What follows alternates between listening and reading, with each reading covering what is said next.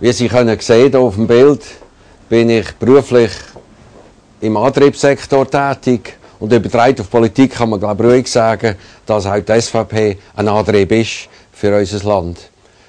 Wir sind speziell tätig im Bereich Sicherheit, wo ja keine Aufgabe ist vom Bund.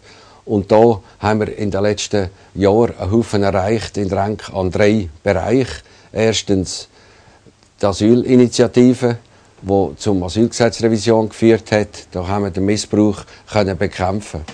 Und jetzt mit unserer neuen Initiative gegen kriminelle Ausländer wollen wir erreichen, dass solche, die unser System missbrauchen, unverzüglich ausgeschafft werden. Und das ist etwas, was normal ist, auch in anderen Ländern, und hat nichts zu tun äh, mit, was man gegen Ausländer ist. Im Gegenteil.